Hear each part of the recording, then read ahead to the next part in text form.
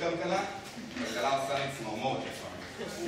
ורציתי אה, לחלוק איתכם רגעים בילדות שלי שהובילו אותי למצב הזה אוהב כלכלה.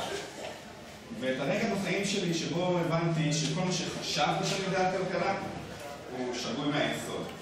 ואת הגילוי הזה גרם לי לחפש אלטרנטיבות לכלכלה, חיפוש שהוביל אותי לפרויקט ונוס. אז חייב להצביע על איזשהו אשם בסטייה שלי באהבה שלי לכלכלה, אני אצביע על אבא שלי.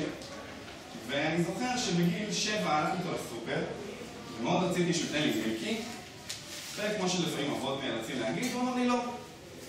והתבאסתי ואמרתי, אבא, אבא, למה בכלל דברים צריכים לעלות כסף? ושיגעתי, כי לא יכולתי לקבל את המילקי. והוא הסביר, הוא אמר לי, לא אתה, אני אסביר לך למה דברים עולים כסף. הוא אמר לי, דמיין שאתה ועוד שלושה חברים, ויש לכם שני תפוחים, אתם ארבעה חברים, שני תפוחים. איך קובעים לקבל את התפוחים? אז מה שאנחנו עושים היום, אנחנו אומרים, תפוח עולה שני שקלים. כל ארבעה חברים אומרים, מצוין, תביא לי תפוח בשני שקלים. אז לא פתרנו את הבעיה, עדיין יש ארבעה חברים שרוצים לקבל תפוחים, ושני תפוחים. אז מה שאנחנו עושים היום, אנחנו מעלים את המחיר, ואומרים, תפוח עולה עשרה שקלים. עכשיו שני חברים אומרים, אוקיי, עשרה שקלים, אני לא משלם תפוח, אני נשאר עם אגסים. אין מצב. ופתרנו את הבעיה, שני החברים שמקבלים את התפוחים, זה החברים שהיו מוכנים לשלם עשרה שקלים על תפוח. בעצם, מה שהוא ניסה להגיד לי זה שהסיבה שיש כסף, הסיבה שיש מחירים, זה כי יש מחסור. בעצם יש הרבה פחות ממה שאנחנו רוצים מהדברים, אין מספיק מהם לכולם, ואנחנו צריכים בכלל להחליט מי יקבל מה. וזו מחשבה שנפטרתי בערך עד גיל 14. בגיל 14, אבא שלי ספר לי סיפור שהוא היה ספר המון, לא מספר כבר היום, הוא מספר את הסיפור של האחרי צבא שלו, של טיול אחרי צבא. הוא היה באירופה, והוא מספר שהוא הולך ברכבת התחתית, ויש בחור שמוכר גרביונים בתוך קופסת קרטון. והוא צועק שהגרביונים האלה מחזיקים 50 שנה. ואבא שלי כבר, האוזן שלו כבר מסיימת את כל המוכרנים ורוצה להמשיך, אבל הבחור עושה הדגמה. הוא תופס את הגרביון עם הרגל ומעביר אותו עד מעל הראש, וכלום לא קורה לגרביון. הוא ממשיך, הוא מכניס דף נייר בתוך הגרביון ועובר עם סכין יפנית. הדף נחתך לשניים והגרביון לא. הוא כבר אבא שלי ככה, אוקיי, אוקיי, זה מעניין. והוא ניגש לבחור עם עדיין קצת סקפטיות, ואומר לו, אם יש לך כזה פטנט גדול, כמה אתה מוכר אותו פה מקרטון ברכבת התחתית? למה אתה לא הולך לחברות הגדולות ביותר ומוכר לך את הזה? אז הבחור מסתכל על אבא שלי ואומר לו, יש שאתה לא יודע איך זה עובד בעולם האמיתי. בעולם האמיתי, עם החברות הגדולות, הולכות ומוכרות גרביונים, ושיחזיקו 50 שנה, אז מה שקורה זה שהם ימכרו פעם אחת גרביונים, ואחרי זה 50 שנה הם לא יכולים לקרוא. אז הן סוגרות את המפעל ושולחות את העובדים הביתה. בעצם, בכלכלה שלנו, איך שהיא מתפקדת היום, הרבה יותר משתלם לייצר גרביונים שיחזיקו רק חצי שנה. ואתה תמשיך לייצר רווחים כל החיים שלך.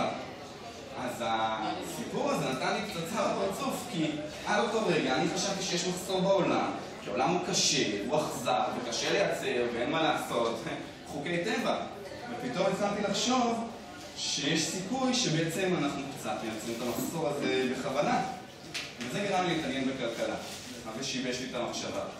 וככל שיותר נכנסתי אה, לאיך כלכלה עובדת, הבנתי שזה יותר הזיה מלהיכנס לארץ הפלאות של אליסה על שני קרטוני יאסי. ועבר קצת זמן, וגדלתי, והגיע הגיע לאוניברסיטה, ונחשו מה הלכתי ללמוד? כלכלה. נכון. ובשיעור הראשון אני ניגש לאוניברסיטה, קורס ביסודות הכלכלה, הגיע המרצה ורושם על הלוח בעיית המחסור. אמרתי, או, מעולה, מעולה, זה לא כל כך הבנתי איך זה עובד. והוא אומר, הוא אומר לנו, לכל הסטודנטים, אה, הוא אומר לנו, רצונות האדם הם בלתי מוגבלים, אבל המשאבים הם כן, ולכן תמיד יהיה מחסור. אמרתי, אוקיי, אוקיי, זה שלי אמר בגיל שבע, מצוין, הבנתי את זה. בואו נשמע עכשיו את הדיטלס, את האוניברסיטה. ואחרי שתי דקות הוא עובר נושא. ואני אומר, אוקיי, מה, חוזרים לזה שיעור הבא? מה קורה? אני מסתכל בסילבוס, אני רואה לא חוזרים לזה. אני פונה לחבר שלי, בחור בשם דרור רשף, שעשה תואר שני בכלכלה, ואני אומר לו, תגיד לה, מה, זה קטע של תואר שני, הקטע של המחסור, שם מסבירים את זה לעומק? אני לא נוגעים בזה, האמת, אף פעם לא חשבתי על זה. אז ניגשתי למרצים אחרי השיעורים, ואפילו הבאתי את אה, חתן פרס ישראל אה, לכלכלה לבית שלי, לסלון שלי בדרום תל אביב. ואמרו לי שהם לא יכולים להוסיף חוץ מהשתי דקות האלה, חוץ מהדבר הזה. עכשיו תחשבו, המחסור הזה, זה הבסיס לכל מה שלמדתי בכלכלה, זה הבסיס לאיך עובדת היום החברה, ואני לא יכול להגיד יותר מזה. אז שאלתי את עצמי, מאיפה בכלל מגיעה ההנחה הזאת? מאיפה זה בכלל הגיע ללימודי הכלכלה, לרעיון הכלכלי שעליו אנחנו עובדים? והבנתי שזה בעצם מגיע מהמערכת הכלכלית שלנו, שהיא מאוד ישנה, למה אני מתכוון? אני מתכוון שסט החוקים שהמצאנו, שעל פיהם אנחנו משחקים כרגע, הוא לפחות בין 250 שנה. רק בשביל שנסבר את האוזן, מה זה 250 שנה? זה בערך הזמן שהמערב גילה את אוסטרליה, כן? איך הוא גילה את אוסטרליה בפעם הראשונה? עם סירות מפרס מעץ. זו הטכנולוגיה של אז. ובאותה תקופה, 90% מהאוכלוסייה הם חקלאים. גברים, נשים, ילדים, כולם עוסקים בחקלאות בצורה הכי בסיסית, עם הגל ככה קוצרים. ואז באמת המחזור היה מאוד אותנטי. היה באמת מאוד קשה. תחשבו על זה, 90% מהאוכלוסייה, היא עבדה רק בשביל לייצר את הדבר הכי בסיסי של מזון. אז מה זה בעצם שפע, מחסור, הדבר הזה שמדבר עליו? נסו לדמיין שעכשיו בחוץ מתחיל לרדת גשם של זהב. מה אנחנו עושים? אני מפסיק לדבר, אתם מפסיקים להקשיב. כולנו מסתערים על הדלתות, יוצאים החוצה, הולכים להרים זהב מהרצפה, נזהרים לא להיפגע מהאנשים, זה כואב. שמים בכיס, לוקחים את התיקים שלנו ומרוקנים אותם מכל מה שיש כדי שיהיה לנו עוד מקום לזהב, כי עכשיו יורד זהב בחוץ, כן? אבל, אם הגשם הזה ממשיך עכשיו עוד שלוש שנים, והוא ממשיך לרדת בלי הפסקה, מה אז קורה? אנחנו זורקים את כל הזהב החוצה, אנחנו מטטים אותו מהבית, טבעות זהב שלנו אנחנו מורידים מהאצבע וזורקים, כי זהב מפסיק להיות לו ערך, הוא מתחיל חסר ערך. אז מחסור זה הכוח שמניע את הכלכלה שלנו כרגע. ואם תחשבו על זה, אוויר, על אף שהוא מחוץ לכולנו, הוא בעל ערך שהוא בלתי יתואר, אף אחד לא יכול לקרוא עליו שתי דקות, אבל עליו שהוא תג מחיר. למה? כי יש אותו בשפע, יש לנו כמה שאנחנו רוצים ממנו. אבל אם הייתי שואל עכשיו, 99% מהאוויר בעולם, החוצה, אז היה מתחיל להיות לו ערך, ואנשים היו מוכרים אוויר בפחיות קטנות. ואנשים שואלים אותך, כמה שילמת על האוויר הזה, באיזה איכות הוא?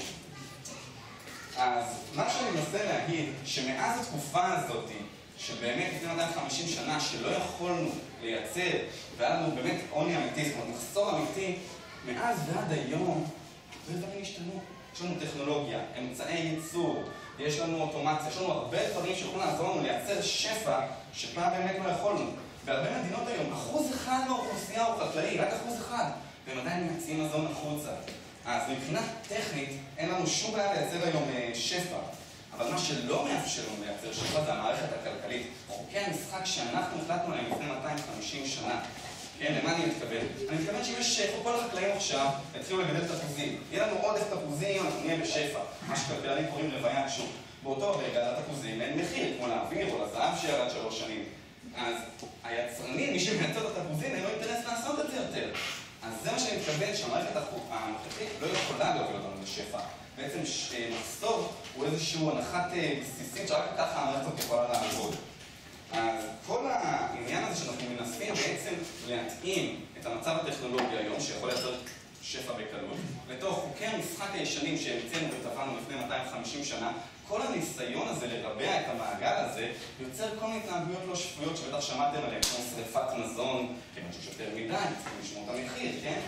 ובארצות הברית משלמים לחקלאים מלכתחילה סובסידיות כדי שהם בכלל לא יגדלו מזון בחלקה הטובה שלהם, והטרקטור עומד ומעלה אבק, כאילו רוצים לטעות שהמחיר ירד.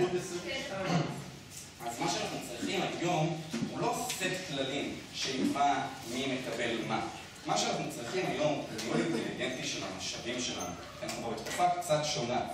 אז שרפת מזון, זה נגיד לא ניהול אינטליגנטי של המשאבים, כן? מה זה כן ניהול אינטליגנטי של המשאבים? אם אנחנו נסתכל מהחלון, בכל עיר גדולה החוצה, אנחנו נראה כמו מכוניות חונות. הן נוחות להן. אבל בניגוד לבני אדם, המכוניות האלה לא צריכות את ההטבות הסוציאליות האלה של מנוחה. אז אם כשאני הייתי מחנה את הרכב שלי, מישהו אחר היה אומר, אה אחי, אחי, אני רוצה את ההפכות בכלל מה... אני נכנס לרכב, והוא נוסע את זה לאן שהוא צריך. והוא יוצא מהרכב, נכנס אדם שלישי. אז היה יכול להיות לנו גישה לפי עשר יותר רכבים זמינים, מבלי שהיינו מייצרים אפילו עוד רכב אחד. אז מה שפרויקט ונוס מציע, זה לייצר במרכז העיר מרכז גישה לספרים. אתה נכנס, אתה לוקח איזה ספר שאתה רוצה, ללא שום תג מחיר, וכשאתה מסיים להשתמש באותו מחזיר, את המודל הזה כולנו מכירים וקוראים לו ספרייה. יש כמה כאלה בכל עיר. כל מה שאנחנו מציעים הוא שליד הספרייה הזאת תהיה ספרייה של מצלמות. אתה לוקח איזה מצלמה שאתה רוצה, מסיים להשתמש ומחזיר, וליד זה ספרייה של כלי נגינה, כלי ספורט, וכל מה שאתם יכולים רק לעלות על הדעת. מה שאנחנו מנסים להגיד, מה שאני מנסה להגיד, וכל ונוס מנסה להגיד, זה שאם נוריד את כל המגבלות של המערכת הכספית שהתחלנו אותה לפני 250 שנה בערך, לא תהיה לנו בעיה לייצר שפע. בעצם אין לנו מחסור בשום דבר, מלבד מוחות בממשלה. תודה רבה.